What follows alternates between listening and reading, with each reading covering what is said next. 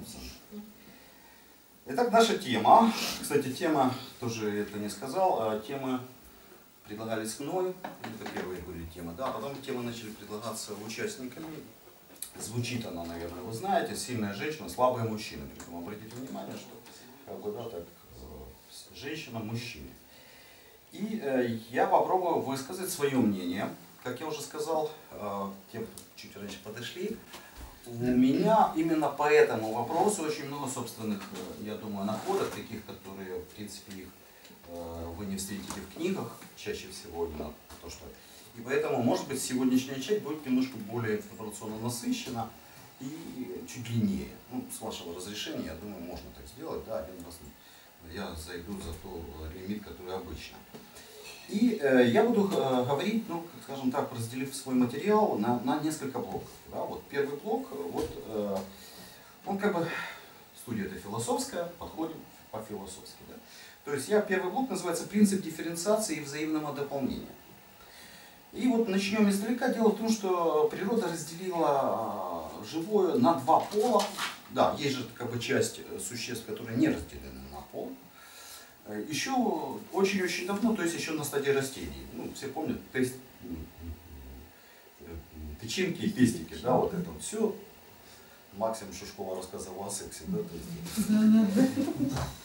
И э, интересно, что э, потом пошло дальше, и в животный мир это перешло, и э, причина разделения, ну, не знаю, задумывались вы или нет, но здесь для этой темы она просто очень-очень важна и актуальна. Э, вот это принцип э, дифференциации и взаимного дополнения. Вот э, я буду использовать примеры на технических устройствах. Хотите универсальные технические устройства для какой-то цели. Там много функций. И это классно, потому что одно устройство, и ты в многих случаях его можешь применять. Но обычно из-за того своей многофункциональности оно ну, многого не может. Ну, в смысле, в тех же функциях, которых, для которых оно предназначено, оно ограничено. И может, э, ну, природа пошла по пути дифференциации. То есть она разделяет функции.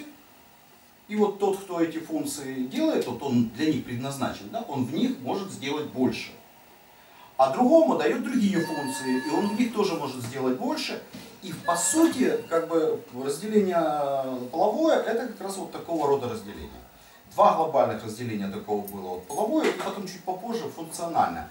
Функциональное разделение, ну еще более э, Пример, он есть, кстати, в человеческом обществе, это отдельная тема по системно-векторному э, психоанализу, ну, кто э, любит эту тему, да, мы ее никак э, не выведем, но это, наверное, в виде не, студии, а тренинга будет, а, то а, пример это вот как муравьи. Вы знаете, там есть рабочие муравьи, да, есть матка, да, там, да. Вот это деление есть в человеческом сообществе, но оно не так заметно, да, то есть у нас нету такого сильного разброса во внешнем виде, а вот функциональное разделение есть на самом деле, это очень интересно. О себе знать, какие, на, на какие ты функции да, заточен, и о других видеть, кто под какие, соответственно, этому вести. Ну, то есть, первое, что я хочу сказать в блоке первом, это очень правильно, что нас поделили, да, мы не андрогины или гермафродиты, мы выполняем две основные функции отдельно, и в них именно разделились по двум таким инстинктам. Тот, кто был, уже знает, я об этом уже несколько раз говорил. Инстинкт самосохранения все-таки преимущественно мужчина. Инстинкт репродуктивный, ну, деторождения и воспитания, да, то есть репродук, репродукции, все-таки преимущественно больше женщина. Ну, не может мужчина рожать. Ну, да, вот этот приз Наполеона, так и остается, да, миллион франков, никто до сих пор не получил, я думаю, не получит, в принципе. Можно, конечно, наверное, сейчас научно экспериментнуть, сделать такой какой-то сам, но зачем? И, наверное, это будет несчастный человек, да, у которого вся такая ситуация. Нас разделили, и наша задача э, в этом разделенном найти сотрудничество, да, взаимно дополнить друг друга. И э, вот это вот э, важно понять, что такие вещи, ну, в принципе, мы чаще всего, вот, как э, психологи, да, и семейные психологи, чаще всего э, сталкиваемся с тем, что оказывается, не все люди умеют вот это вот взаимно дополнять друг друга. То есть так уже происходит, что вот как бы вот что-то не то. Дополнение дает сбой, и э, тогда получается, что функции какие-то, которые ну, нужно было, ну, например, женщина тоже может сама себя защитить, правда? Ну, она, в принципе, тогда как бы проигрывает, или как вот, ну, не, доп, ну, не умея дополнять, вместо того, чтобы усилить, потому что если вот мы разделились, я это делаю лучше, а ты это делаешь лучше, мы соединились, мы в целом и то, и другое делаем лучше, чем до этого, понимаете? То есть произошло какое-то такое э, развитие. Синергия. Да, синергия. А если так, то наоборот, будет аси, э, асинергия, ну то есть мы как бы и теряем. Вот чаще, чаще всего это в отношениях и происходит. И э, вообще беда еще в том, что так нас этому не учат. Ну, в смысле, как правильно э, да, вот взаимно дополнять. В культуре этого, к сожалению, почти нет. Э, старый способ, он умер, домострой написанный там еще, да, Сильвестром, священниками и так далее. А новый домострой, или как бы новые какие-то правила, которые бы подходили для большинства, он не создан. Да? И вот такой хаос существует. Он в каком-то смысле он полезен, потому что ну, мы такие разные стали, да? много очень меняется сейчас по ходу. С другой стороны, он сильно дезориентирует многих и, в принципе, приводит к проблемам. Итак, вот это первый блок, это вот что этот принцип дифференциации, взаимного дополнения, он как раз и разделил нас на мужчин и женщин. И э, это очень хорошо, если мы потом разделенные находим взаимное дополнение. Блок второй. А тут, тоже по-философски, в принципе, хотел бы, чтобы, а это будет такая логическая тонкость, но я хотел бы, чтобы вы меня услышали, попробую, если нет, потом еще раз на обсуждение. Вообще этот вопрос, сама тема сформулирована Она не может быть так сформулирована. И э, я сейчас а, объясню почему. Вроде бы нормально звучит, да? Но э, соизмерять, а здесь есть соизмерение, слабое и сильное, можно только сравнимые вещи. Понимаете? А э, там, где мы разделились, соизмерять невозможно. Я хочу вам показать это на принципе устройств. Они так, кстати, и называются. Папа и мама, да? Вот э, розеточка, вот вилочка. Как можно их соизмерять? Вот две вилочки можно соизмерить, да? Две розеточки можно соизмерить. А две разные невозможно. Вы понимаете? что невозможно соизмерять силу мужчины и женщины, если мы говорим о мужчине и женщине. У них разные силы, разные функции, и э, практически это абсурд. Понятна моя идея? Что если мы говорим о соизмерении конкретных людей, которые являются мужчиной и женщиной, то мы говорим о них как вообще просто о людях. Да, то есть не, не отказываясь от идеи, что это вот мужчина или женщина. И тоже так немножко, скажем, да, люблю какие-то такие яркие примеры из жизни. Ну, извините, да, вот, даже самый гигантский э, женский клитор никогда не будет больше минимального мужского члена, да, то есть, ну, вот так вот, да, вы бы поняли, вот, ну, не надо сравнивать, здесь мы действительно разделились кардинально, и э, сравнение невозможно. И поэтому, э, э, вот, э, когда мы об этом говорим, сама ошибка возникает естественно, да, потому что вот, ну, как бы два признака. Признак это чем, каким, по которому мы являемся людьми, и признак, по которому мы разделились на пол. И эм, мы еще раз, да, в конце этого блока, не конкурирующие, а взаимодополняющие друг друга существа. Это очень важно, да, потому что ну, иначе получается действительно война, Э, распадаются отношения и э, все соответствующие отсюда последствия. И когда мы сравниваем, мы должны сравнивать личности, которые могут быть сильнее или слабее, но не мужчину и не женщину. Следующий блок. Э, слабость и сила в партнерстве и в браке. Да? То есть партнерство шире, но брак, когда вот это уже это самое. Ну вот, в принципе, замечено не только мной, что очень часто, например, если уже мы переходим к женщинам-мужчинам, что э, сильная женщина выбирает себе слабого мужчину. И наоборот, сильный мужчина может довольно часто выбирать себе слабую женщину. И в принципе у этого э, есть свой минус. Понятный может быть плюс и свой минус. Вообще э, было бы правильней и лучше всего создать отношения вровень. То есть такой же, да, э, скажем, силы человека, личность иметь рядом, а не слабее и младше, там, да, вот, и не сильнее и старше. Хотя соблазн э, есть, да, вот именно войти в такую пару. Вот э, я здесь как бы постарался посмотреть на этот вопрос со стороны сильного. Да? Вот, в принципе, как бы у нас сильная женщина, слабые мужчины, да, как бы со стороны сильного. И показать вопросы, два минуса, которые вот очень интересно прослеживаются практически во всех таких парах. Первое. Плюсы для сильного. Удовольствие от доминирования, резкое улучшение, улучшение э, рост самооценки. Уверенность. Да, вот рядышком со слабым, ну, сильный, слабый. Кстати, две подружки могут тоже красиво некрасиво ходить, да, там тоже замечено, что может такое быть. И вот э, на этом фоне чувствуешь себя э, лучше. Это приятно, это нужно. Нам нужна э, самооценка и уверенность в себе. Второй плюс – безопасность, стабильность. Ну, ну, в принципе, да, никуда не денется. Ну вот, я же лучше, да.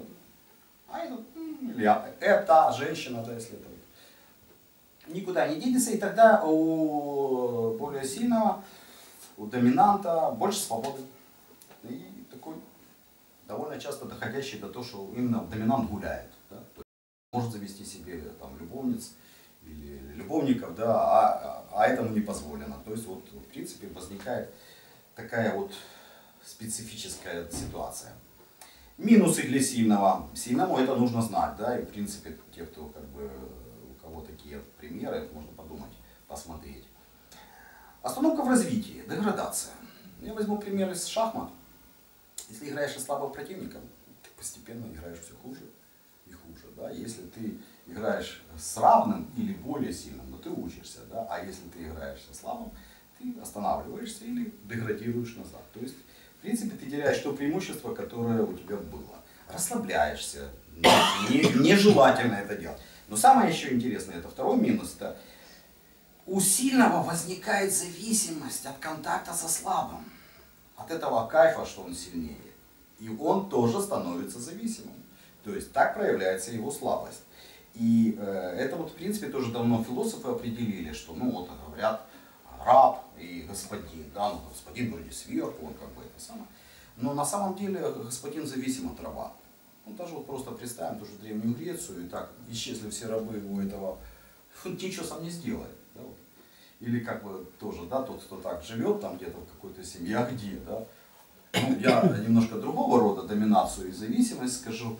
Ну вот мама не поставила там тарелку, да, а вот научиться добывать пищу из холодильника не каждый ребенок умеет на определенной стадии, да, то есть вот он вроде бы доминант, да, мама ему услуживает, а на самом деле, как только мама исчезла, все, ему уже очень-очень сложно и тяжело. Поэтому нужно понимать, что ну, ну, сильный тоже проигрывает, если он в таких отношениях находится. И вообще-то лучше эм, изначально, чтобы партнерство и брак были равны. Блок 4. Я назвал его немножко ругательно, так я назвал его недоросли. Да. Недоросли это как бы вот мы рождаемся с половыми признаками. Достают ребенка из э, да, вот, после рождения из чрева матери смотрят это самое, ну, чаще всего сразу, ну, мальчик, да, вот, девочки. Там очень-очень маленький процесс, э, процент гермафродита рождаются, ну, это мы можем это да, в качестве не рассматривать. И потом практически каждый раз, когда смотрят на половые органы, понятно, да? Но давайте так посмотрим. Не всегда обладатель половых признаков является мужчиной и женщиной, правда? Ну, до какого-то времени ребенок не является, он там, ну, только мы его воспринимаем, там, синенькое или розовенькое, да, вот одеваем. Ну, есть что-то в поведении там проявляется, но тем не менее он, он еще не мужчина, да, не, она еще не женщина.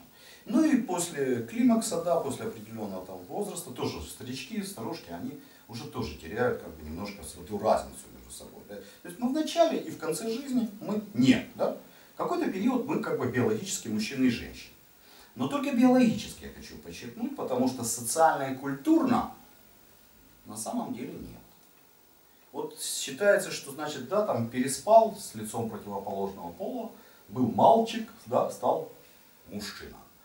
Или девушка, да, там это самое. А нет, это не, не является признаком того, что ты превратился именно действительно э, в того, кто вот, мужчина или женщина. И э, самое интересное, что наша культура, к сожалению, она очень сильно потеряла. В ней нет э, каких-то институций, да, каких-то каких-то, это самое, как каких-то, вот, да, других обществах, где э, еще учили быть э, женщиной и учили быть мужчиной. При том, что мужчинам повезло больше. А, вот здесь у нас сейчас нас, да, на это самое два э, человека связаны с боевыми искусствами сидят, да, и, и тренер, и занимающийся, да, Виталий и вот у мальчиков есть что-то подобие, это некий не совсем целостная система да, воспитания мужчин, но она существует. И можно отправить сына в секцию, и вот там ему помогут. То, э, вот это тоже моя разработка, то есть я в принципе считаю, что с определенного возраста э, ну, существо недоросль, да, он должен пройти э, путь, если мы говорим о мужчине, путь воина, стать воином. Ну, не обязательно воевать, да, но должны сформироваться определенные качества у человека, у мужчины. А девушка должна пройти путь любовницы. Так вот, путь воина у нас немножко еще представлен какими-то секциями, а путь любовницы, вот, в принципе, в Древней Греции существовали школы супружества, существовали школы, где учили от секса до там, сочинения стихов. Школа Афродиты. Слышали об этом, нет? Вот кто-то слышал, а кто-то нет. На самом деле, сейчас психологи пытаются создать какое-то подобие. Но учитывая культурную ситуацию, сложное напряжение, даже вопросы сексуальности, да, как вот развивать девушке сексуальность, стрёмные, я так думаю, что оно так ну, не очень-то развивается. Я, я видел на фестивалях своих коллег, сексологов, которые занимаются такими, они молодцы, классно, все это самое, занимаются подростками. Но пока что, знаете как, такая стрёмненькая тема, да, вот я скажу, отдай дочку в какую-то такую школу, да, вот ну, я не уверен, что каждая мама поймет, о чем идет речь. Не начнет пальцами и говорить, вы что, это, это разврат, да, там ее будут учить сексу и так далее. Ну и э, интересно, что я, исходя из того, что наша душа биполярна, есть мужская часть души у каждого, есть женская часть души. Да? У мужчины на первом плане все-таки мужская часть души, у женщины женская часть души, но есть на втором плане и у мужчины женская часть души, и у э, женщины мужская часть души. Поэтому следующий этап в этом обучении э, должен мужчина пройти путь любовника, то есть действительно обучиться э, и тому же сексу, да, и всем моментам, чтобы уметь понимать женщину, да, то есть в неком смысле через женщину в себе научиться видеть и понимать женщину. И тогда он, конечно, сможет хорошо в контакте быть с женщиной. А женщине тоже пройти путь воина, чтобы научиться понимать э, искусство, и э, науку мужского. Вообще это два пути, и э, вот, к сожалению, они очень сильно разбросаны. И даже в моем направлении, в, расстановках, там Берт Хеллингер, автор же этой э, методики, он говорит о порядках любви. И вот то, что я пытаюсь ну, своей деятельностью, своими там, статьями э, дополнить, я говорю, есть искусство и наука любви, есть искусство и наука войны.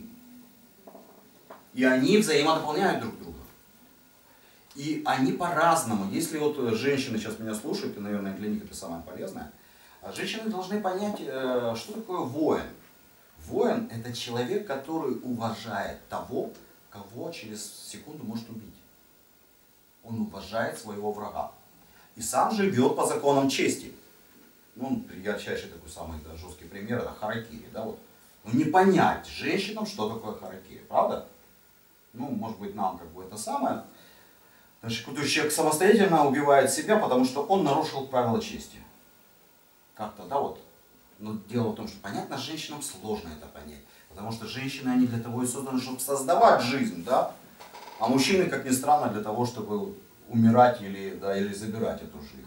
И там, и там свои законы. И если вот мужчина пройдет свои законы, потом пройдет законы женщины, он будет их хорошо понимать, и женщина в том числе, если она пройдет да, свои законы, и будет э, понимать э, законы мужского сообщества, то тогда им гораздо легче будет вот, законнектить, да, гораздо легче будет взаимно дополнить друг друга. Еще одну вещь, которую я хочу сказать, это так, я думаю, неоднозначную реакцию вызовет. Вы знаете, вот э, я знаю, к сожалению, только знаю, да, никого научить не могу, сам, по сути, такой опыт имею ну, не часто что э, женщина, владеющая искусством секса, может сделать так, чтобы мужчина после оргазма не чувствовал ослабление, не чувствовал усталость, а почувствовал подъем, есть ну, в искусстве да, действительно любви именно такое. Представьте себе, что э, чаще всего происходит, мужчина просто устает, да, он просто, ну, он пережил яркие впечатления, все, он там благодарен женщине, но у нее есть естественная усталость. А и возможен секс, когда у него будет не усталость, это она свою энергию отдаст ему, да, которая у него, женщина сексуально гораздо более сильнее, чем мужчина, намного у него больше энергии в гениталиях, да, во всем этом э, аппарате, чем у мужчины, если она пробуждена. И оно, она ему отдаст, и он, во-первых, кстати, сможет и, и еще, и еще, да, если уж так женщине хочется да, продолжить. А может эту энергию потратить именно на подвиги, то есть на вот эти достижения. После этого он еще полетел, и там, не знаю, за каким-то бизоном, за еще чем-то, да, за деньгами, все, он вдохновлен. И эта энергия, в принципе, а, очень важна, и это искусство женщины. Оно утеряно. В нашем современном мире женщина не, не упрек, да, вы же не виноваты, что так культурная ситуация сложилась. Но знать, что это возможно, да, хотя бы, да, может быть, где-то когда вы это столкнетесь. И э, вот э, такие два момента я хотел бы вам э, сказать. И еще э, я хотел бы эти пути немножко описать, ну, извините, вот, может быть, да, вот здесь я переберу, переберу время, а вот что такое путь любовницы? И э, путь э, воина, я их так попробую описать э, коротко. Значит, уже когда-то говорил, что основной энергетический центр у женщины находится вот здесь, молочные железы. Вот здесь происходит непроизвольное накопление энергии, которое, в принципе, влияет, ну, кто знает систему чакр, на три ближайшие чакры. На сердечную, да, на горловую и на вот эту чакру. Какой результат? Она очень обеспокоена вопросами любви, да, сердечная, хочется любить и быть любимой. Она часто разговорчива, ну, вот горловая чакра, да, вот, и, в принципе, выражает через э, звуки эти свои и она очень э, сильно может находиться в воображаемом мире. Да? То есть это вот, если чакра не развита, если развита, то говорят, ситхи возникают, человек может видеть, да, там, мистические миры, там, новые, новые реальности. Она, ну, в самом простом, это вот мы себе вообразили, там, да, что он красивый, или вот, да, что будет так у нас, да, вот себе придумали целую жизнь наперед, только он мне улыбнулся, да, женщин. И, все, и все, все да, и уже там целый, да, э, Санта-Барбара, и вот эта, вот эта работа, вот эта чакра, она, э, и так как энергии здесь много, то это у женщин гораздо сильнее энергетически заряжена. Она в этом может и подвисать и жить, да, вот, вот, вот это.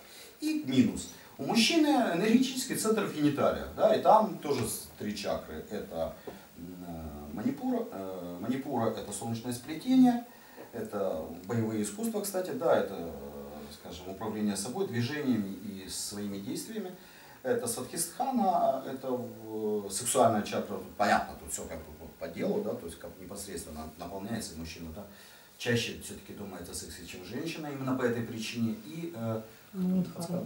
Муладхара это вот э, чакра жизни и смерти, да, когда да. мы ее когда там, не знаю, прыгаем э, с резинкой, да, вот это, или там еще что-то, или на вот этом американских горках, четко чувствуем Муладхару, потому что да, там рядышком, еще и э, орган вот этот, да, вот сильно сжимается, да, и такое все прочее. То есть вот, это, вот эти переживания. И обратите внимание, мужчины к этим переживаниям больше причастны, чем это самое. То есть они любят опасность, они часто, да, там, или прыгнут где-то, или побьются с кем-то, или что-то. Вот эти переживания. И вот э, получается, что вот недоросли, я говорил о недоросли, да, то есть еще до прохождения этого пути, вот у них как бы получается, мужчина хочет э, иметь женщины на уровне вот здесь, где у него все это самое, а женщина нет, не очень, она, она вся вот здесь, вот в этой части, за это самое. А женщина хочет вот здесь с ним контакт иметь, да, и получается вот это извращение, которое называют рак мозга, да, вот я Сейчас, дай мне, пообщаюсь я тут это самое, да, поговори со мной, да. Э, фраза, пугающая многих мужчин. И мужчина этого не выдерживает, да. Вот, кстати, вот это о силе, да. Но у мужчины этой силы нет, а тут явно проигрывает, э, да. Э, ну, а мужчина может силой в ответ, ну, это сексуальное насилие, конечно, да, ну, брать женщину. Все, ну понятно, все, все против, я тоже против, я нет. Я просто объясняю откуда, да, потому что вот здесь накопление, и здесь как раз те чакры, которые связаны с агрессией. Поэтому он может это, в принципе, делать не должен, но, в принципе, где-то так импульсы оттуда есть. И получается, он насилует женщину так, да, она насилует его так, получается хорошая семья, да, то есть да, мстят друг другу, каждый по-своему, да, то есть вот в таком, в таком сочетании. Но а на самом деле могло бы быть иначе, да, то есть если женщина, она направит свои энергии вниз, да, то есть вот у нее как бы путь любовницы, это направить свои энергии вниз, она сначала разберется, вот она в анахату, э, да, э, немножечко отвлекаясь отсюда, сосредоточится, и она поймет все-таки разницу между любовью, э, ой, ты мой слабенький, ой, ты мой маленький, ой, ты мой, мой мальчик, я тебя да, усыновлю, да, ну, в смысле, мужчину, да, вот, у него любовь отсюда идет, и первоначально материнский инстинкт. Э, Забелена. Э, да, это, ну, к ребенку любовь, здесь же, ну, кормим же этим делом, да, ну, в смысле, женщин.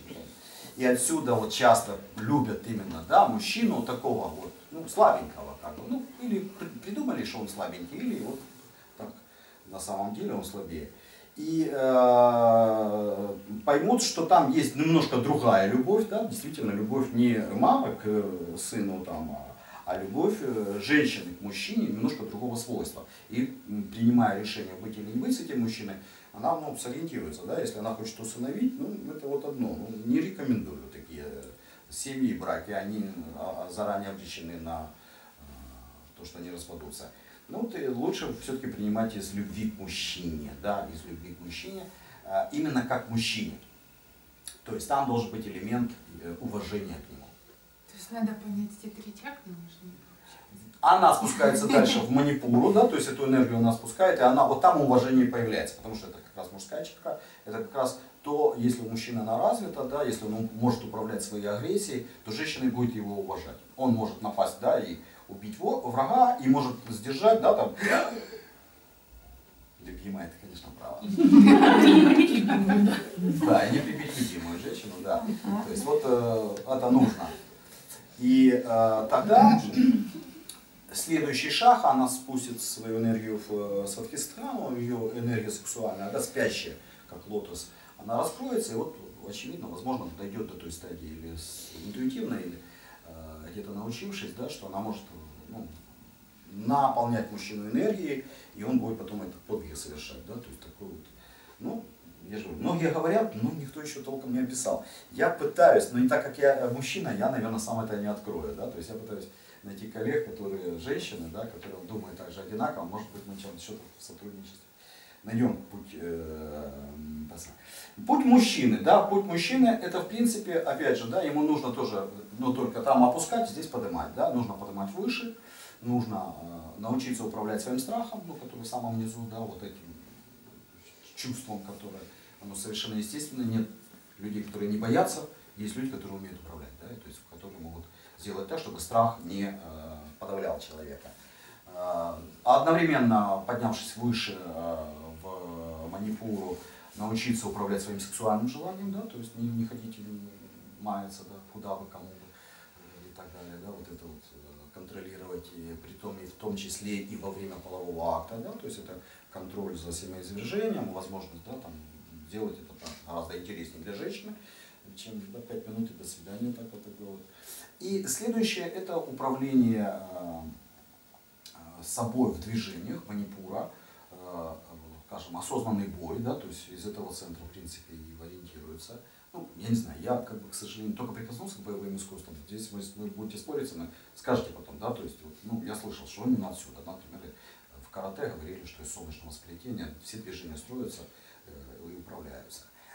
Дальше он поднимается сюда, да, он может э, чувствовать любовь, и э, дальше его как бы, мозг тоже наполняется этой энергией, и он способен мыслить во время боя, потому что бой выигрывается умом. Да, вот не, не агрессией, не это самое, он должен суметь просчитать это самое. И, в принципе, как вот в китайских фильмах показывают, да, что сначала так раз они стали, да, и там в голове уже проигралось моментально.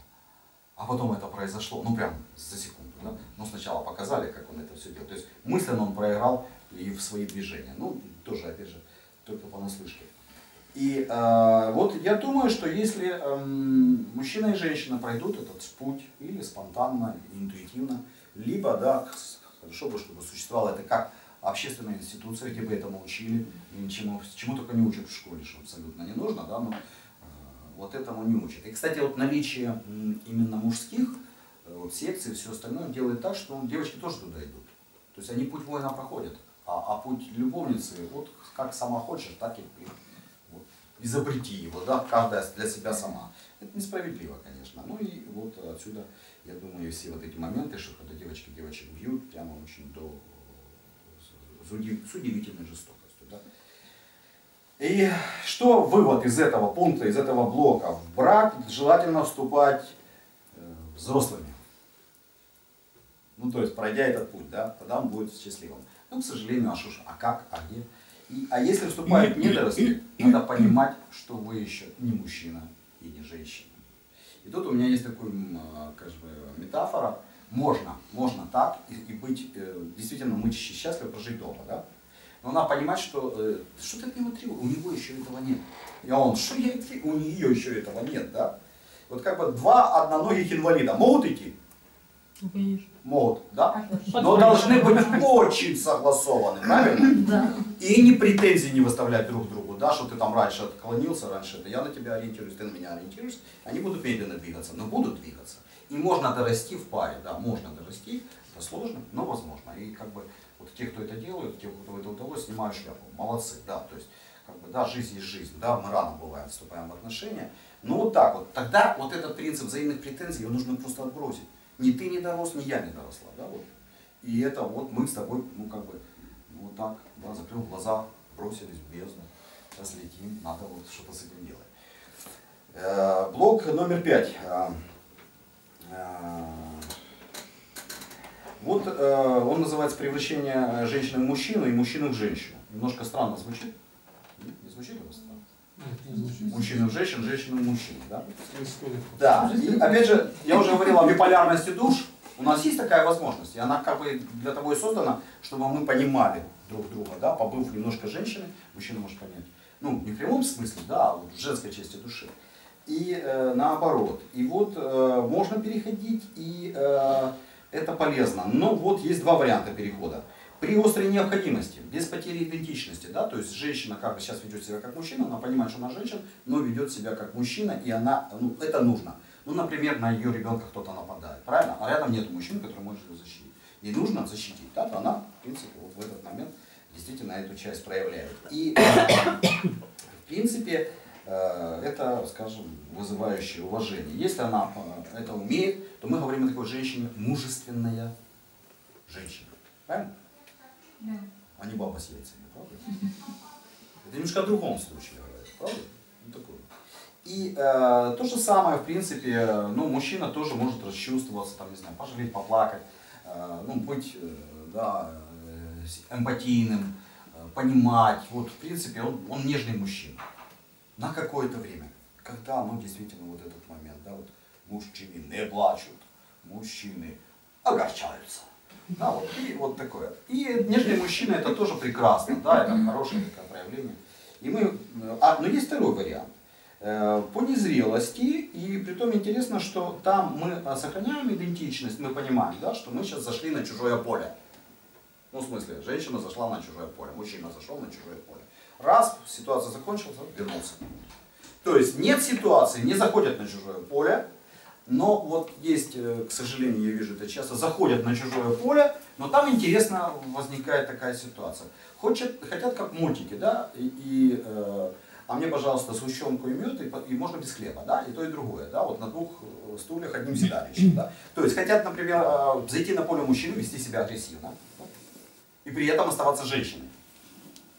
Ну и обладать всеми теми, да, какими-то правами, вот.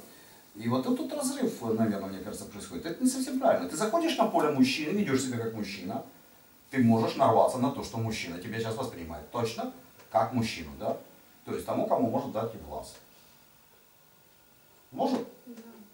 Ну вот такое. То есть заходя на поле мужчины, вставай мужчиной на это время, да?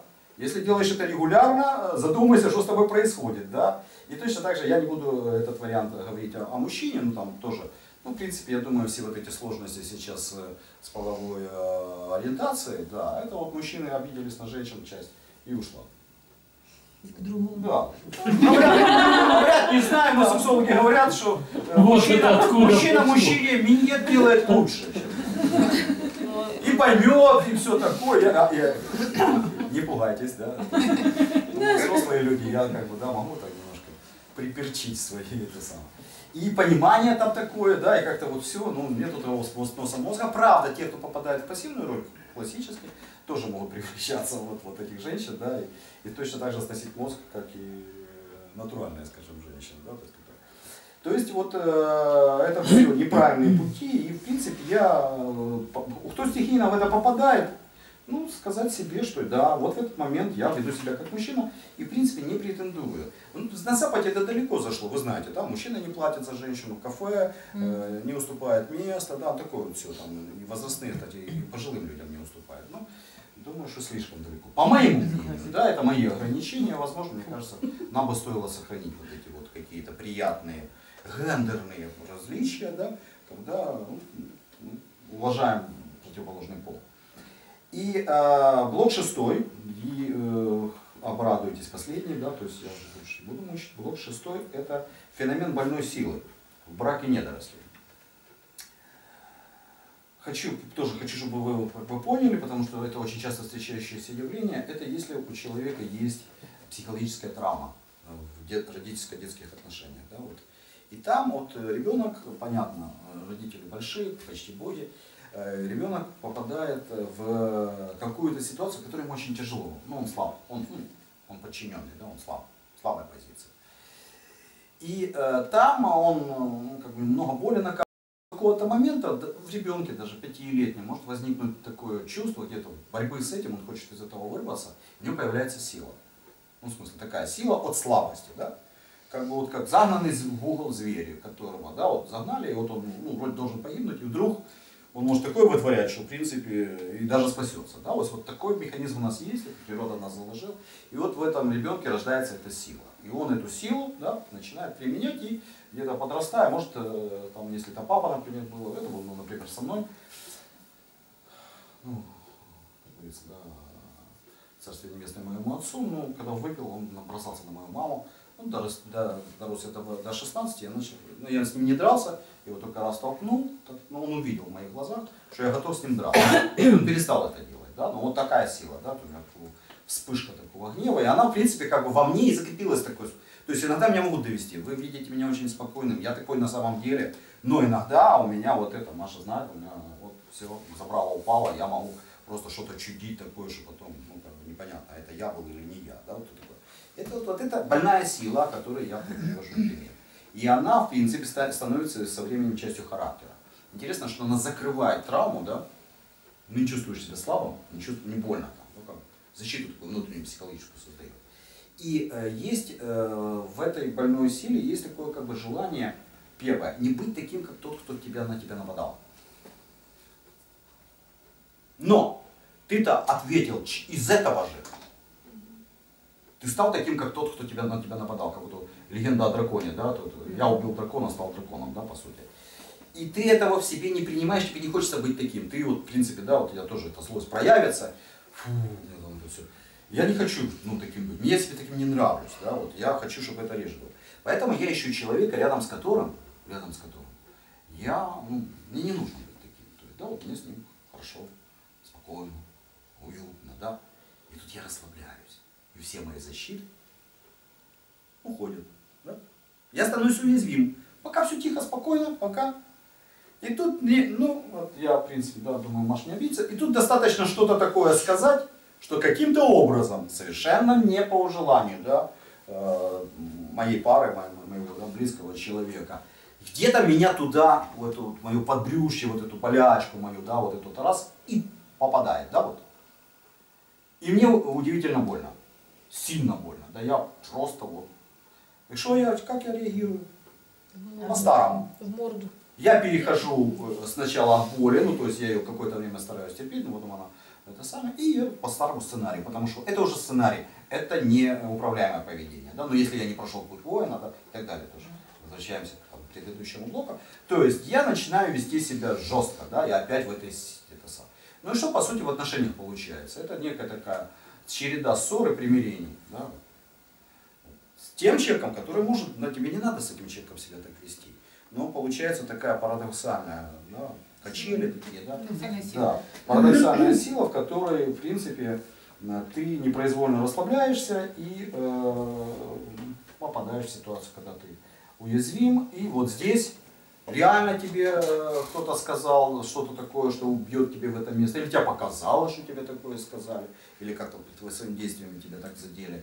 Все, да, будет реакция. И эта сила, она больная. И поэтому, в принципе, такую силу лучше протерапевтировать, освободиться от нее. Это, она не делает нас сильными, она наоборот делает нас как-то вот изощренно, э, да, вот, так скажем, э, слабыми. Окей, я прочитаю сейчас название всех блоков, да, для того, чтобы вам э, напомнить, вот, все разное было. И э, мы э, закончим мою часть. Это принцип дифференциации и взаимного дополнения, то, что мы разделились, это хорошо, и нам нужно понимать, да, что нам э, не нужно, в принципе, там, бодаться на чужих полях, да, а нужно найти взаимное дополнение. Не получается, ну, задачи непростые нам жизнь ставит. Искать, искать и найдете, да. Ну, в конце концов, тоже можно по вот этим штукам, да, ну, могут быть другие немножко вилочки, ну, поменять тогда человека, ну, ну, ну, да, ну, знаете, вот это говорят, размер, да, вопрос размера.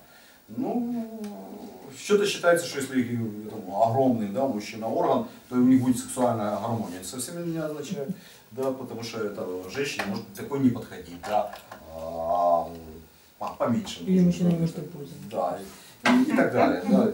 В том числе женщины носятся там с размером своей груди, я знаю. О, говорит, у меня папина грудь, да, там это самое. Или там подруге сказать, а дай мне немножко, зачем тебе так много? Такое. И тоже это не важно, я думаю, мужчины подтвердят сидящие здесь, ну, не обязательно, да, чтобы она была там такого какого-то. Ну, часть мужчин только об этом проимается. И то это, да, до, до поры до времени, пока это не получат, скажут, о, что мне с этим делать. Следующий блок. Вопрос э, э, сформулирован неправильно. Если мы говорим о мужчинах и женщинах, это нельзя сравнивать. Это несравнимые величины. Давайте отложим. Да, мы сравним личности. Но вопрос, почему э, мы часто можем создавать отношения и да, вот как-то ориентироваться только такой своеобразный отбор делать среди тех, с кем мы общаемся, со слабыми, да, то есть вот это блок третий, слабость и сила в партнерстве, да, что проигрывает и, кстати, и слабый проигрывает, и сильный проигрывает. Слабый меньше проигрывает. Слабый может вот со сильным партнером вырасти. Да. Дорасти и, в принципе, и перерасти. И отделиться, да. Да, а, а, а, слабый, а сильный, как бы он немножко зависает, пока ему вот эта жизнь морду не даст. И, ну ладно. Весна. Да, ну обычно пара из них после этого распадается. И э, следующий блок, это вот блок недорослей, да, что мы, по сути, мы не, не становимся автоматически мужчинами и женщинами у нас в культуре, к сожалению, нету таких институций, ну, мужские есть, но они такие тоже не до конца, да, то есть они не, не, не так глубина продуманы, я думаю, как в древности. И э, только лишь вот эти, да, есть ну, такие традиции, как бусидо, кодекс чести самурая, да, и все это. Там вот это есть. Ну, это пошел по этому пути, понимаете, о чем я говорю. И, а женское вообще нет, к сожалению, да, беда с нашей культурой. И следующий блок. Э, это превращение женщины в мужчину и мужчины в женщину. Вообще не женщина. Мне так нам нужно оставаться, да, понимая, ну, я имею в виду те ситуации, когда нет необходимости, да, а как бы мы начинаем вот это. И тут еще вот не притягивать в это противостояние, ну как вот если женщина, она зашла на мужское поле, да, то не притягивать все остальные штучки, которые связаны с женским, да, то есть, ну, не пользоваться, а что это ты, да, вот, э, там, на меня нападаешь, ну ты же сама, да, ты Э, женщины, поймите, у мужчин у всех есть какое-то место, когда у них забрало падает. Да? Но не надо перед быком бегать с красной тряпкой. То есть любого мужчину можно довести до момента, когда он не перестает контролировать свою агрессию. Свою агрессию. Да? Увидели такой красный огонек в глазах, как на фотографиях, да? И ушли, да.